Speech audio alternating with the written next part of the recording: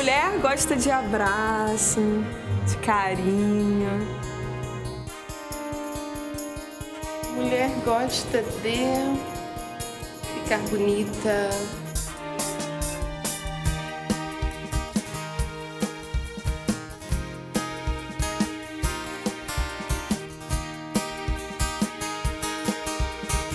A gente quer ser feliz.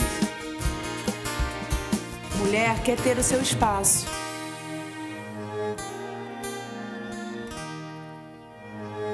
Olá, mulher. Seja muito bem-vinda ao seu espaço. Essa é a Rede Boas Novas. Você é especial. Esse é o dia que o Senhor fez. Nos alegremos nele. Eu sou Tereza Gomes e o papo hoje está muito legal e vai ser sobre os desafios das mães de primeira viagem. Eu sou uma. então, provavelmente eu vou ter muito para perguntar e também para falar. E para conversar aqui comigo, hoje eu tenho Lúcia Vanderlei, que é encantadora de bebês. Seja muito bem-vinda. Igualmente, prazer. Um anjo. Eu precisava de uma dessas. Seja bem-vinda ao Espaço Feminino. Obrigada, obrigada. Tenho também Jéssica Pinha, que é pediatra especializada em neonatologia. Isso mesmo. É isso mesmo, seja bem-vinda. Obrigada. Tenho também Priscila Crispim, que é psicóloga. Seja bem-vinda. Obrigada. Na música, Ministério Batista Atitude. O Felipe e a Mari, sejam muito bem-vindas. Nossa, falar em desafio de mãe de primeira viagem é tudo, né? Por que, que a gente tem tanto. Assim, engravida, a gente idealiza um monte de coisa, né? Meu filho não vai ser assim, meu filho não vai ser assado, meu filho não vai espernear no chão, não vou deixar ele ver TV até tarde, iPad nem pensar. Não é nada disso, né? Depois que nasce. Por que, que ninguém avisa sobre a gente, hein? Alguém tenta avisar. A gente que não acredita, não né? acredita, não, comigo não vai acontecer. Qual é o seu trabalho? Eu acho interessante isso, porque, por exemplo, a- talvez já existia, mas há quatro anos atrás, quando eu tive a minha filha, nem pensei na possibilidade, nem existir. O meu trabalho é acalmar as mães, né? Que elas estão nervosas, se acham as, as piores mães do mundo, né? Que o bebê chora, eu não sei por que, que ele chora. Ai, aí briga com o marido, e briga com a mãe, e tá nervosa por tudo. Você já é mãe de quantos mil bebês? Ah, por aí, eu acredito que uns 6, 7 mil. Vai ter muita história para contar, ela e todo mundo que está aqui, mas antes eu queria ouvir uma música. O nome da música é O Poder da Fé, do CD Ponto de Encontro. Escuta aí, Ministério Batista Atitude.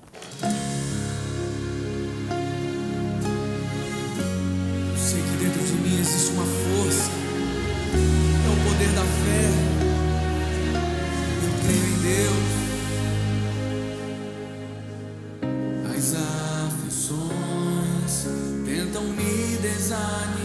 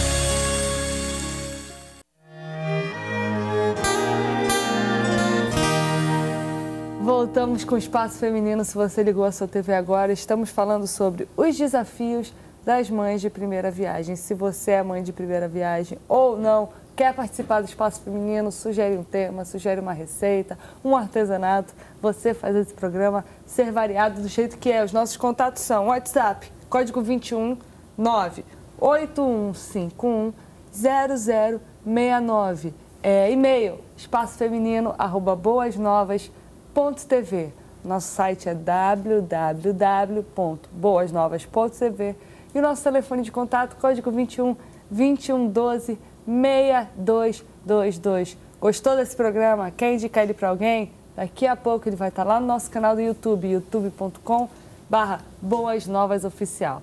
Bem como todos os outros programas da Rede Boas Novas estarão lá. Estamos no Face, no Instagram, enfim, não tem desculpa para não participar da Boas Novas. Entra, compartilha, comenta, se inscreve, continua fazendo a Boas Novas o que ela é 24 horas transmitindo Jesus. E conversando aqui comigo, para você que ligou a TV agora, eu tenho Lúcia Vanderlei, que é encantadora de bebês, tenho Priscila Crispim, que é psicóloga, e tenho Jéssica Pinha, pediatra especializada em neonatologia.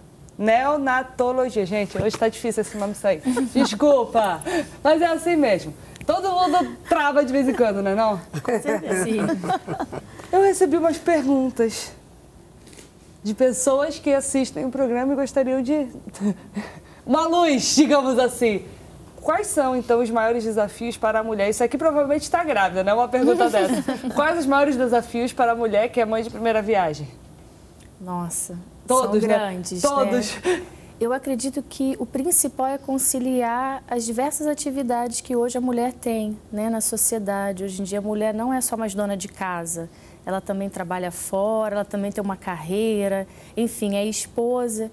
E pelo menos para mim, eu trago a minha experiência, que no início foi bastante difícil conciliar essas duas grandes funções.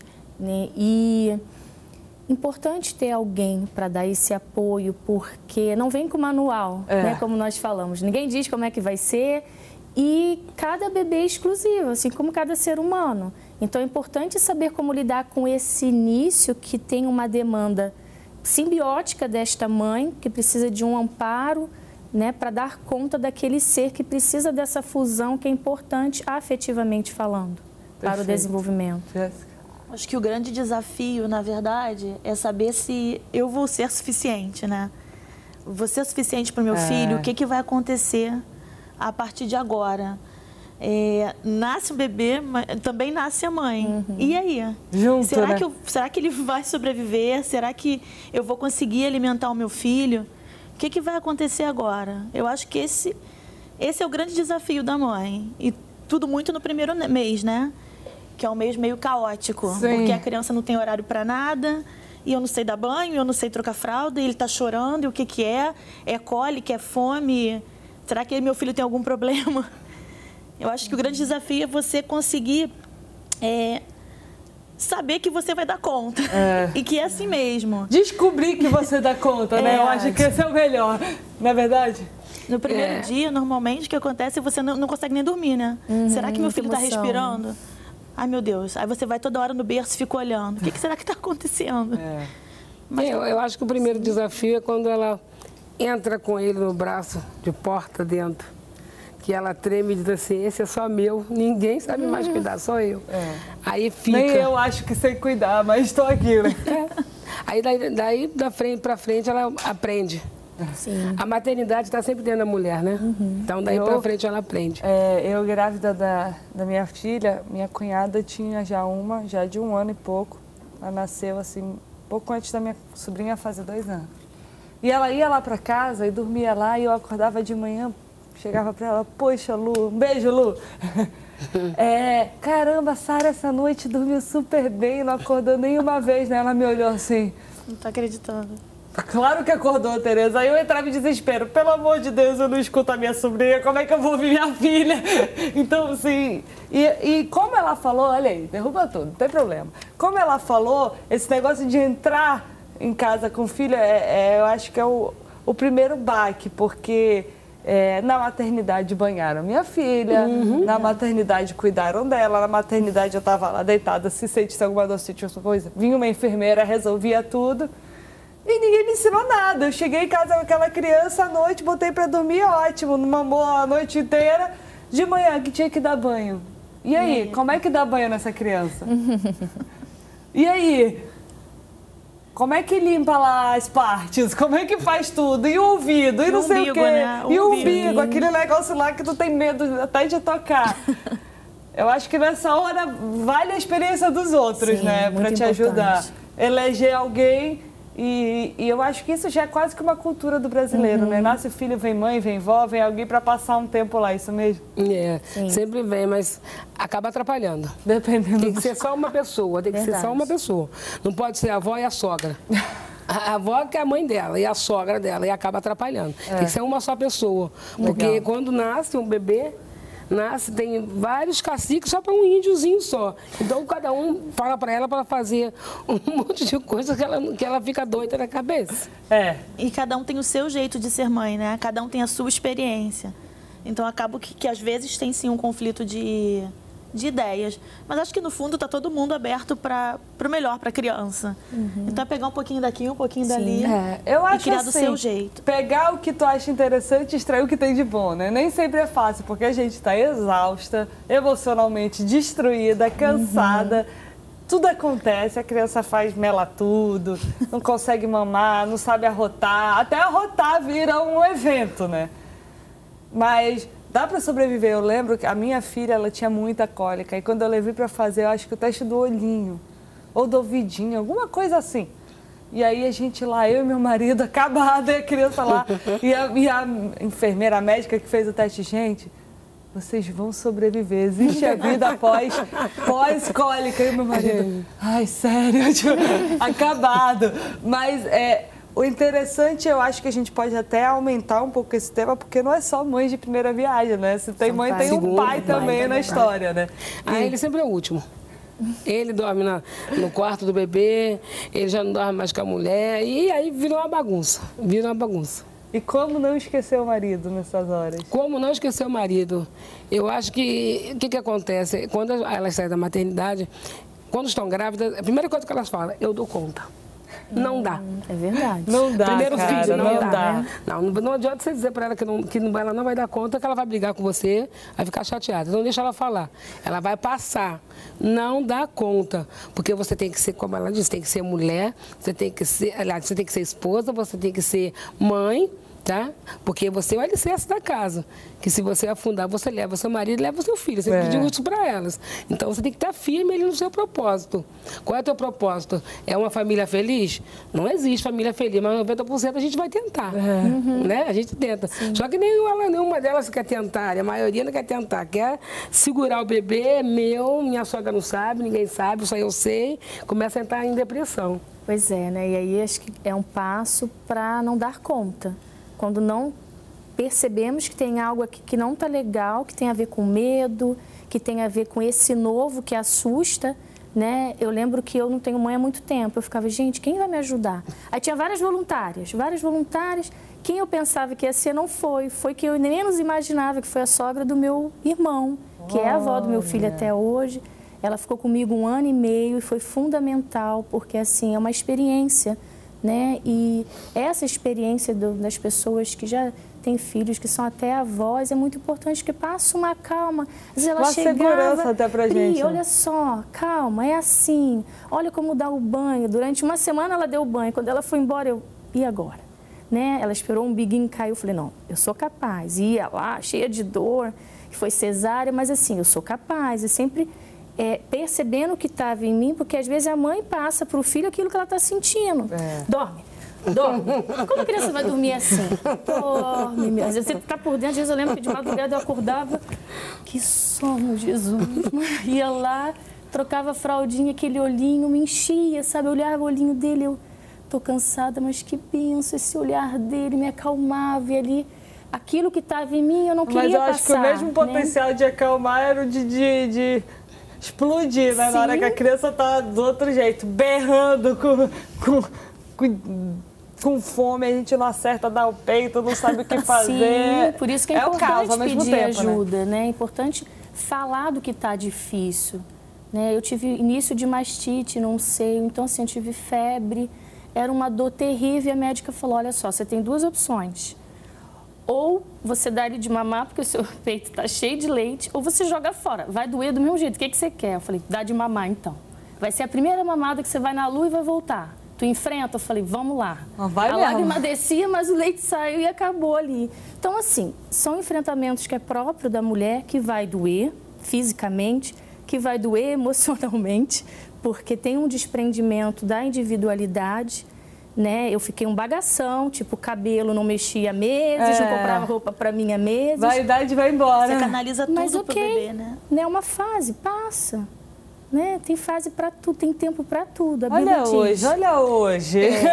E quero outro. Ai. Quero outro. Agora eu quero Mas me outro. disseram que demora mais ou menos aí uns 3, cinco, 4 quatro anos, anos. 5 anos pra te Esquece. esquecer a Esquece, dor, esquece. É o estresse. Esquece. Eu falo assim, minha filha ainda tem 4, agora que eu tô começando, eu digo assim, "Gente, Deus, não dá pra mandar já depois dos 3 meses, não? É, agora você esquece, mas daqui a pouco, quando vê o segundo, te dá um Começa branco. de novo, né? Te dá um branco. Mesmo porque de, só cada tem uma, filho é gente. diferente, É, né? Que cada um é um. vem com uma personalidade, num momento diferente da sua vida. É, mas eu já peguei agora o segundo bebê, né? O segundo filho, que ela. Nossa, meu primeiro era um anjo. Esse aqui não é meu, não, trocaram. não, esse não é meu. Eu falei, é seu sim. Tua cara, minha filha, tem jeito não. Assim, Isso é diferente. É, eu falei pra ela, só que você Aqui, queria né? que o raio caia no mesmo lugar.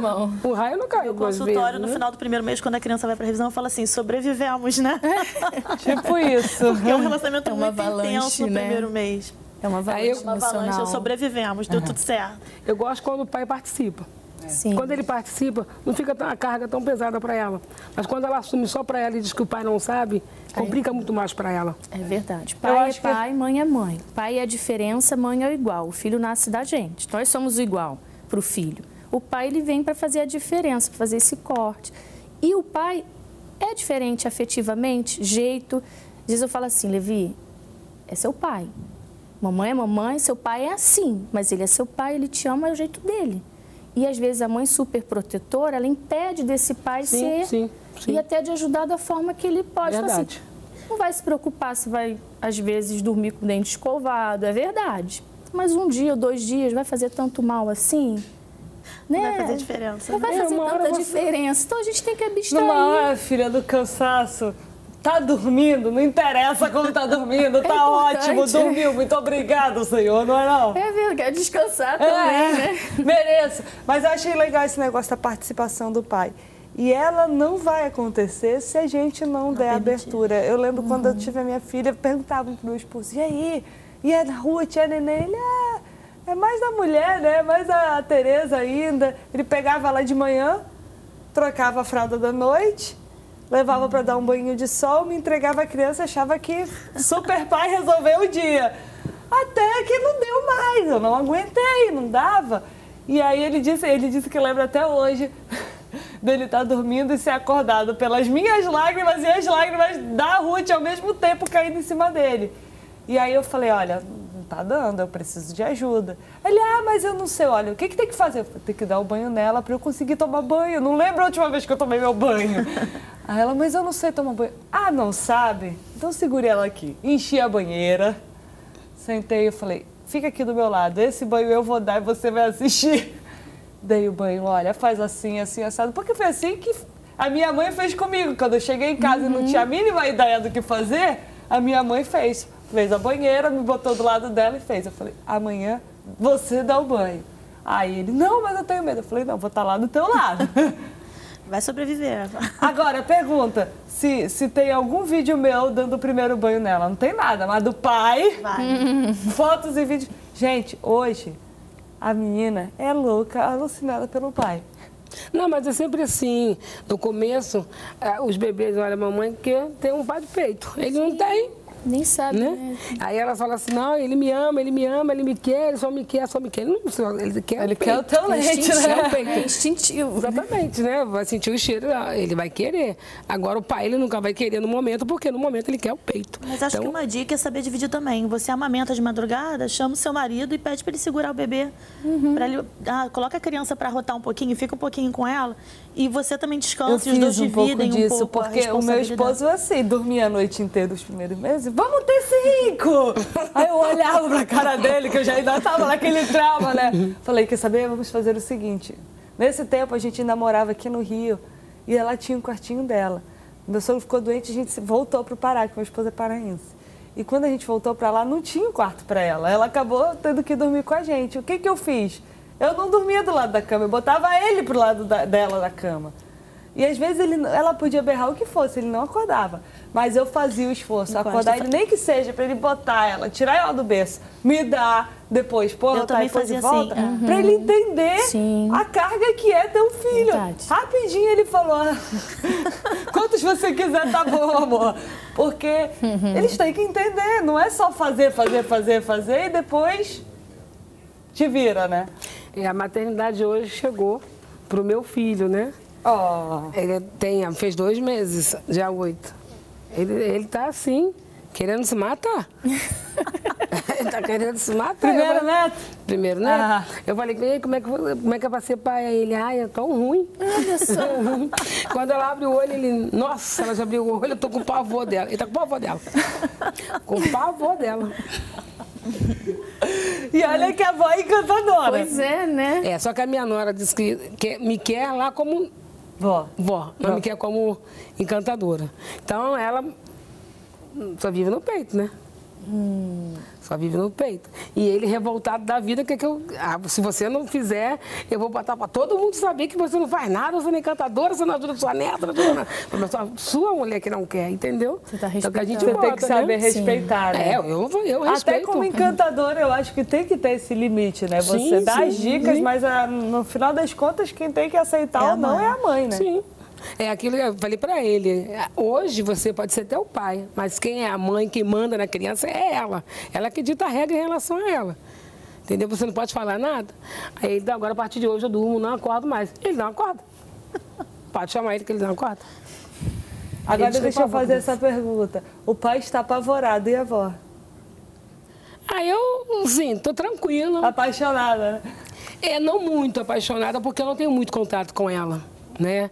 É, como dizia minha avó, é, filho da minha filha são os meus netos. Agora, filho dos meus filhos será meus netos. Ah. Porque a gente não tem muito contato, né? Porque ela tem mais, quem tem mais contato é a mãe dela. Claro. Né? Eu viajo muito, saio, não, não deixa de muito na vida deles.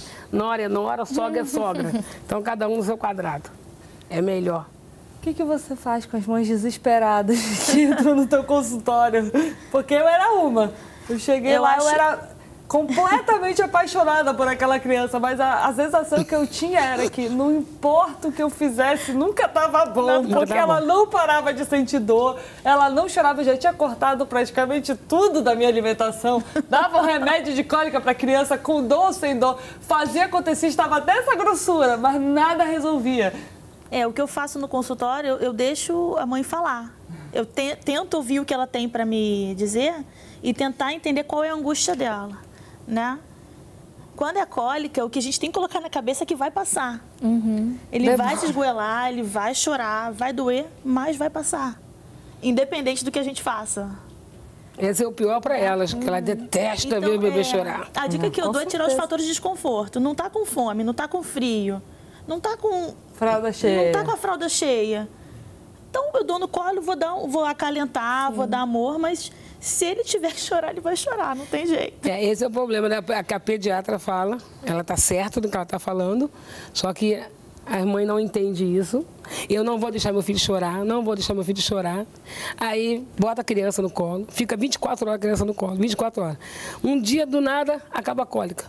Mas continua o vício, e quando ela vai tirar ele do vício, ele não quer mais. É. Meu sobrinho tem sete meses e tá isso. Ele não, não era aquela criança que teve muita cólica. Mas pensa num neném de revista. Então todo mundo queria estar com ele no colo. Agora, o Eu bichinho tinha é uma amiga que me visitava toda tarde.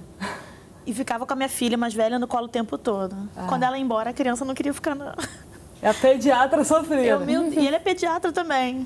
Aí eu falava, agora você volta aqui e vem ficar com ela no colo. É, pra parar de chorar, Para né? de chorar. É igual aquelas, aquelas. Você coloca o bebê para dormir, vai lá no berço, você nem respira, bota ele lá. A campanha toca. Tum! Ai, eu queria morrer. Eu queria morrer com isso. Quando não, a criança finalmente dormiu, tá lá cinco minutos sem chegar a visita. Para lá acordar a criança.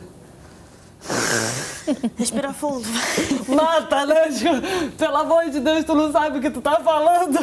É, mas é isso que eu sempre falo para elas. O, teu- o problema de vocês não é ter medo da criança. Se a campainha tocou, ou se fez um barulho lá, ou se a pena caiu, fez um, um barulho enorme, acordou, vai lá e bota para dormir. Que o problema de vocês é esse, é medo. Quanto medo vocês mais têm, mais a criança vai acordar toda hora. E ela sente, né, que a gente tá com medo. E pensar que você é suficiente para o seu filho. É até um pouco de instinto. Você sabe o que fazer com seu filho. Mas o medo não deixa. Se ele tá chorando, você vai É. dar um colo para ele. Mas se for manhã também, você tem que deixar ele um pouquinho. a esse gente tem esse filho.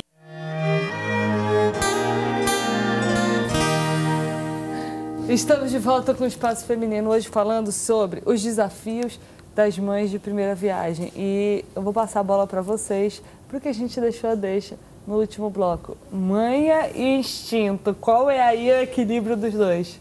Nossa. é tênue, né? Muito! Eu acho que é importante observar.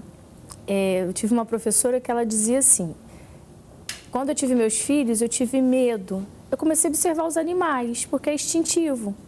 Como é que a cachorrinha faz? Como é que, enfim. Então, é observar essas fases. Eu acho que é importante ter um mínimo de conhecimento, é, procurar saber, tirar as dúvidas é importante e entender que quando a gente, claro, passa esse primeiro mês, que é mais confuso, você começa a perceber os choros, a diferença É. que tem. Perfeito. Um Eu choro de também. dor é diferente de um choro de fome, de um choro de sujeira na fralda, E o choro de mãe. de um choro de manha. Aquele E choro aí- que não saiu uma lágrima, toda mãe que está aí me Sim. conhece esse choro, bem E eu falo conhece. que o paciente nem disfarça, né? Ele tá chorando, chorando. A mãe pega no colo e... Ah, por favor. Gente, você nem disfarçou. Eu digo, Que quando manha, acontece que isso, cor. sabe o que eu digo? Desligou a torneira do choro, porque criou uma torneira, né? Continua. E é importante observar, ficar atento aos sinais que esse bebê dá em cada fase do desenvolvimento. É, eu, particularmente, eu fico um pouco receosa quando fala dessa manha, né? Por quê? Eu entendo o seguinte, nós somos seres afetivos. Afeto é super importante. Criança que não é tocada, criança que não é olhada pela mãe, criança que não é percebida afetivamente, é muito ruim para o adulto que vai ser. Porque nós precisamos de ser tocados, de ouvir que somos amados. Então, assim, talvez isso tenha sido fácil para mim em relação a essa prática com meu filho, porque ele nunca foi manhoso nesse aspecto. Porque toda hora eu estava lá dizendo que eu amava ele. Eu estava cantando para ele dormir na barriga, eu cantava para ele. A avó me cantava, a avó brincava, né? Então assim, é curtir, gente. Quando a gente sai rápido. do medo de que não vou dar conta, de que é difícil. Olha quanta mensagem a gente está enviando. Só não. Não vou dar conta, não vai dar, é difícil. Só mensagem negativa. Isso tudo enche a cabeça da mulher. Ela acredita que não vai dar conta. É. Então, peraí. Eu tô com medo, ok, é difícil? É, mas difícil não é sinônimo de impossível. Por que, que as pessoas entram nesse patamar? Deus não dá, né? Alguma coisa, uma carga que a gente não consiga segurar, carregar, Sim. aguentar. Só depois que cresce um pouco que fica pesado demais, né? Mas fora isso. tá- É verdade, então assim, eu preciso ter um pouco dessa consciência. Confesso que o meu maior medo era serem gêmeos, porque minha família tem muitos gêmeos. Eu também. Eu tinha muito medo. Até a última ultra, doutor, só um, né? Não teria um escondidinho aí não, né? Porque eu falava, gente, vão vir dois, eu não tenho nem quem me ajude, como é que eu vou dar conta? Isso realmente era um pavor para mim. Hoje, já não tenho tanto, porque eu já tive essa primeira experiência, eu saí da fantasia e é possível. Então, assim, perceba a sua emoção, né, para as mães que estão aí, né? Ah, já vai nascer, tá pequenininho, o que, que eu faço? Perceba como está aqui e peça esse apoio afetivo, porque nós ficamos sensíveis. Claro. O corpo dói, o corpo muda, é horrível, fisicamente falando. Então a gente precisa de uma comidinha gostosa.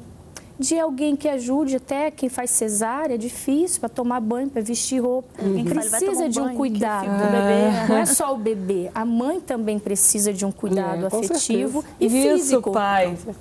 É, pô, vó, enfim, Tia, tia, né? sogra, isso depende de vocês, amigos. porque a mulher é um bicho orgulhoso também. A mulher nunca vai dizer. A mulher quer que você perceba, quer que você chegue. Olha, tá aqui isso aqui. Eu lembrei de ti quando eu vi isso na rua, então me dá ele um pouquinho para tomar banho. Às vezes até por isso. Não, deixa comigo. Então, é, a gente precisa mas a gente também precisa que as pessoas cuidem da gente, porque a sensação que a gente tem é que depois da maternidade é só a gente que cuida do mundo e ninguém cuida da gente, né? Pois é. É, a primeira coisa quando eu chego na casa da cliente é cuidar dela, para mim chegar no bebê. Porque ela já está ali, já está chateada, né? Já não. Toma banho rápido, o bebê Tá fechou um olho, ela já já está com o pé na água. Quando ela está com o pé na água, ele abre o outro olho, ela já saiu toda pelada, já pegou no colo, já botou a roupa, já não quer mais, né? Então eu vou sempre mais nela, para poder mostrar para ela que ela é capaz, tá tudo bem, né? Para tranquilizar ela é, e mostrar para ela assim que, olha, aqui para frente, se eu fiz, que não sou nada do bebê, você também é capaz. E você já tem a resposta, é só botar para fora. Né? Toda mãe tem a resposta. Ai, será que eu vou fazer isso? Será que vai dar certo? Não. Vai, vai- será não? Vai dar certo. e é Faça, por aí. né? Faça. É por aí. É igual elas falam, ai, o filho da minha amiga é tão, nossa, grita, faz. Será que o meu vai fazer? Eu falei, vai, se você deixar, vai. Se você deixar, vai. Do jeito que. Ah, mas como é que eu sei que ele, ele tá com manha? Põe ele no colo quando ele começar a chorar.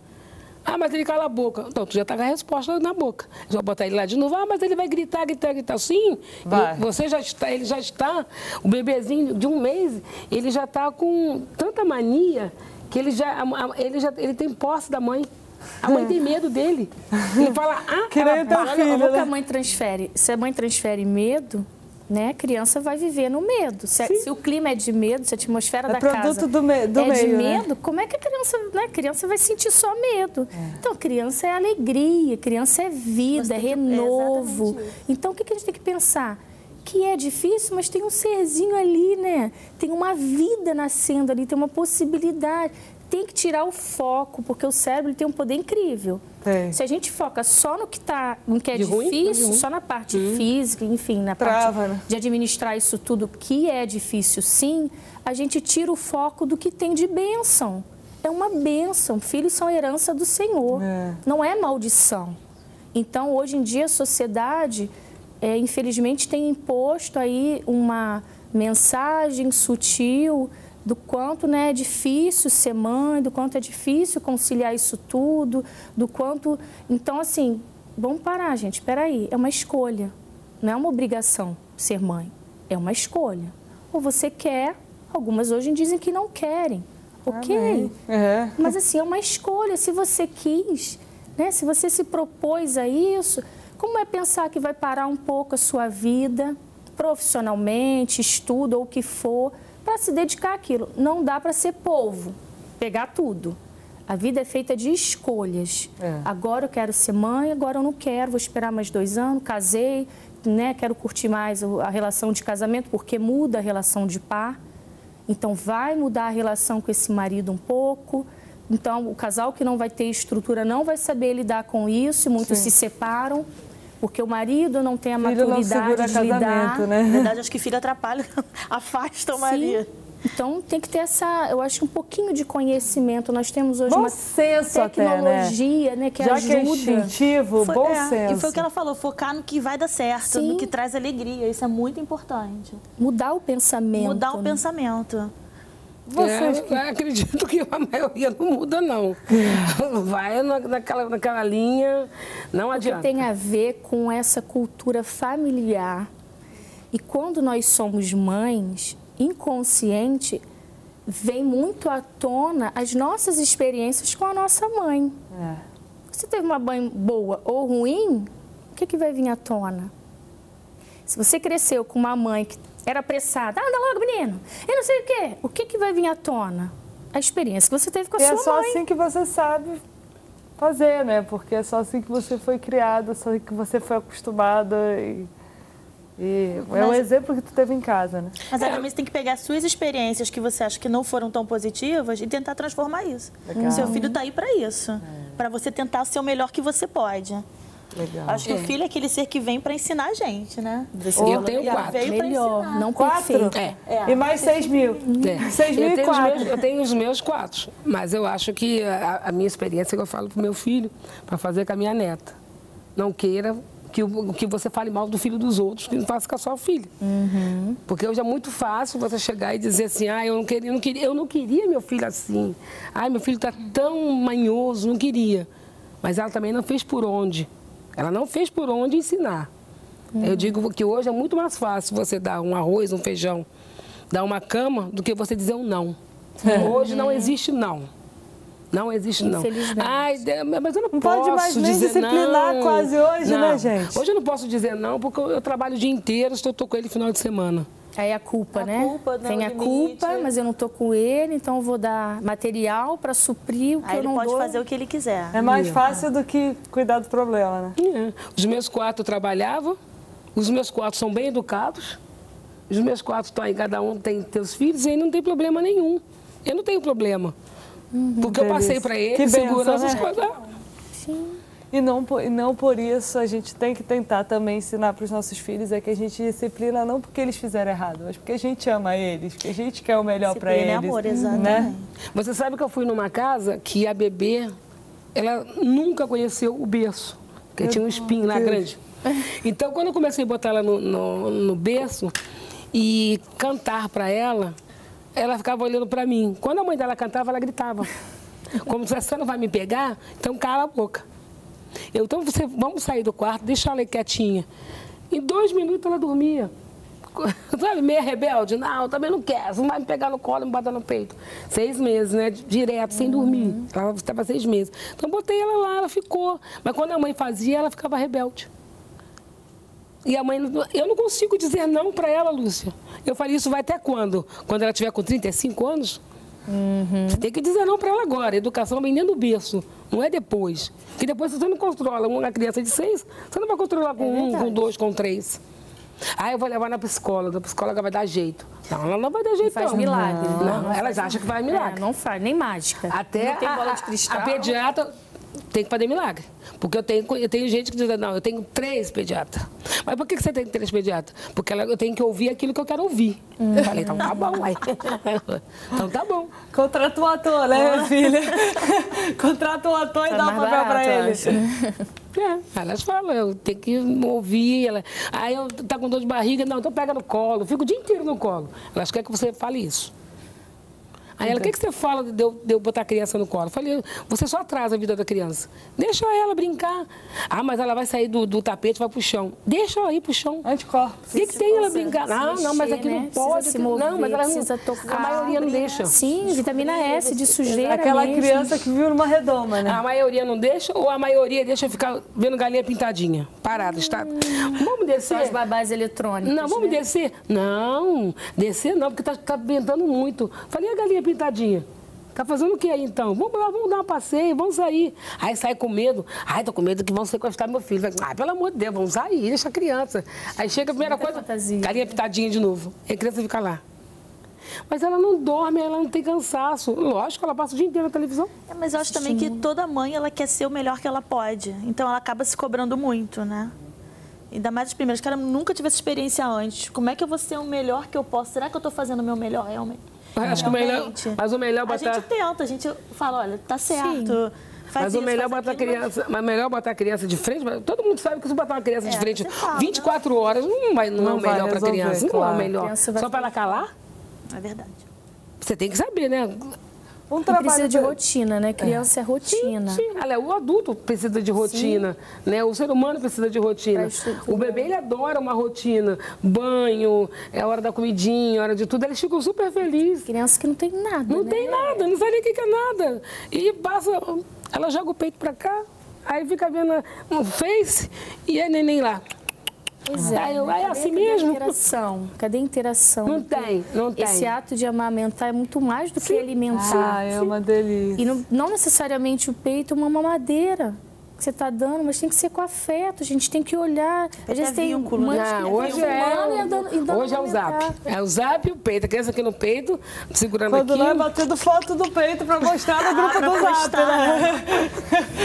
No o da trabalho da, família. encantadora, quanto tempo tu fica com uma mãe? O que mais ou menos se ensina? Como é que funciona?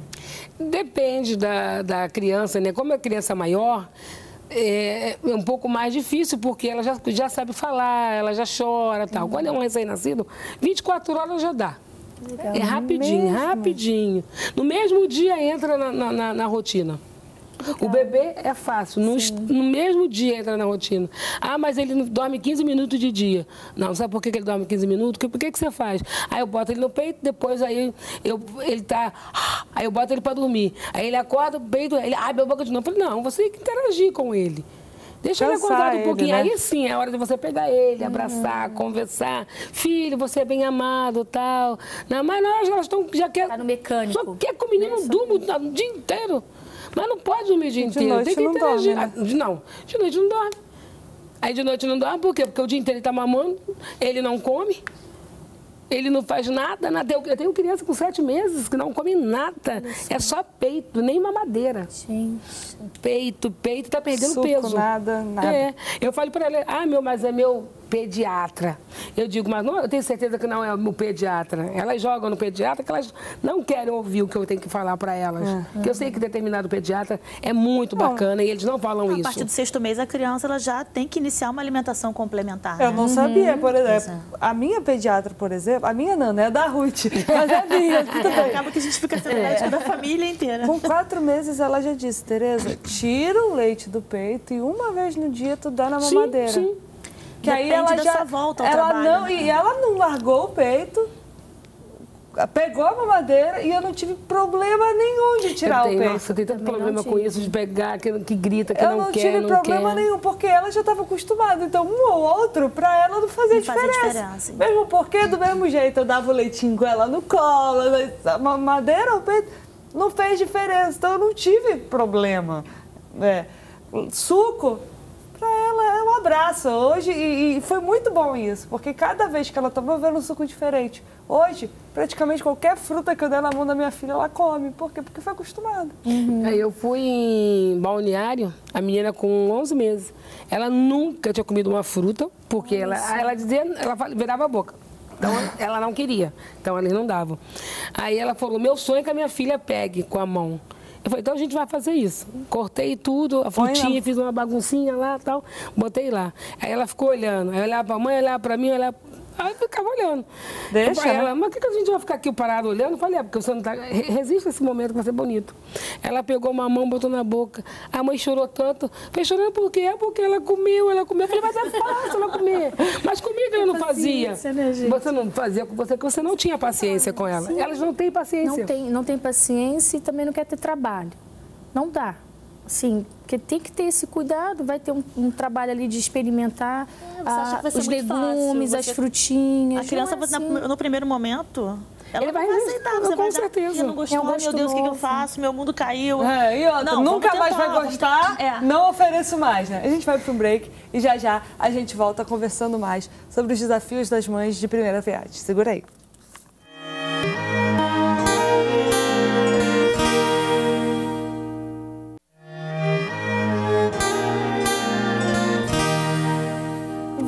Voltamos com o Espaço Feminino e programa bom é assim, a gente nem sente passar. E, infelizmente já está terminando, mas para não perder tempo, eu passo aqui a palavra para considerações finais. Ai, meu Deus. Passa pra ela. Passa para ela, vai, Jéssica. ela. Eu acho que o importante, dessa, então, né, só reiterando, que a mãe de primeira viagem é falar que você é suficiente. Legal. Que você vai sobreviver, que você vai dar conta do seu filho, seguindo os seus instintos, Cada fase seguindo passa. as suas culturas. E aproveitar também essa fase, né? Não ficar, não, não, não focar só no que está dando errado, foca no que está dando certo, no bebê rindo para você, nele Sim, mamando, nele saudável. interagindo, nele saudável. Priscila? É. Enfim. É a mesma linha aqui de pensamento, né? Porque é importante entender que o amor, né? Amar é estar ali junto, tá cuidado, tá com saúde, né?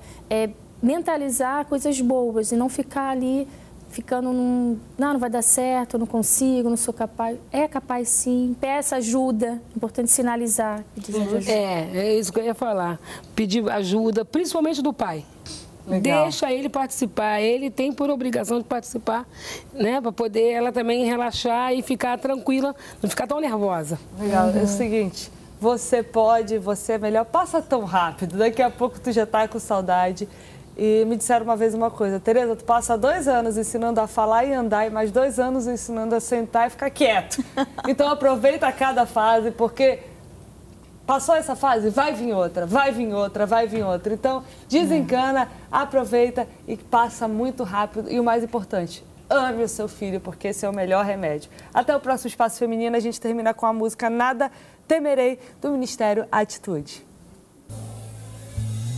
O mar se agitar e tudo escurecer e parecer que eu não vou sobreviver,